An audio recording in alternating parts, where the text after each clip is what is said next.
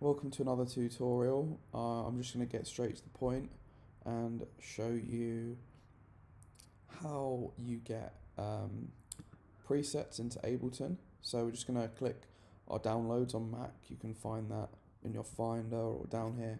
Or if you're on Windows, you know, you can get your uh, start menu up and find downloads. So we're just going to get a, folder that we've got online. It's probably going to come in a zipped version. So we're literally just going to click this. It's going to run uh, a program which will unzip or you can right click open with archive utility.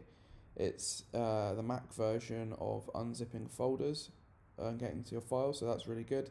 So right click, open with archive utility, that will unzip, and then we get this folder with a bunch of patches uh, or presets, and then we're just going to open up Ableton now, and we're just going to drag this folder into Ableton. So I'll just wait for this to boot up, and then we can drag this into our places. Um, so we'll just click no for that. Okay, so we've got Ableton now, so we're just going to get our folder, be it Mac or Windows, and we're just going to drag our folder into the places section. So we'll just wait for Ableton to do its thing. It's doing some sort of loading right now, so we're just going to try that again. Just drag the operator patches, okay? And you'll be able to see this white line here, and that's where the folder will enter into your places and once this has been dragged in you can um,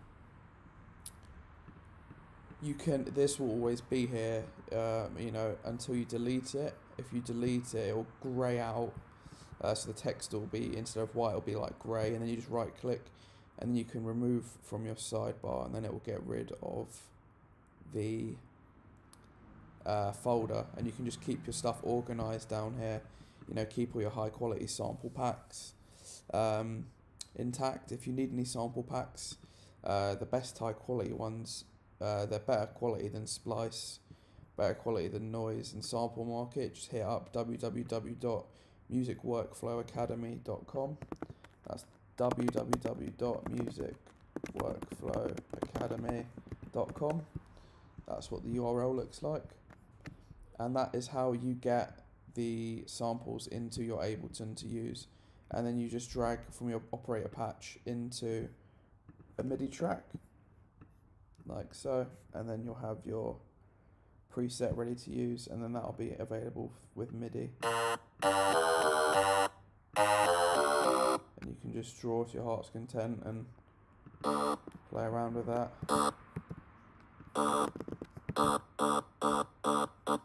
and yeah that's it basically summed up. So yeah, don't forget to hit up musicworkflowacademy.com for this preset patch pack uh, for op Ableton's operator synth. Comes with Ableton Live Suite. And yeah, hit us up for any tutorials, sample packs, anything you need, we got you covered. Alright, thank you guys. Hope that covered everything. Big ups. Peace. Speak to you in the next one. Bye.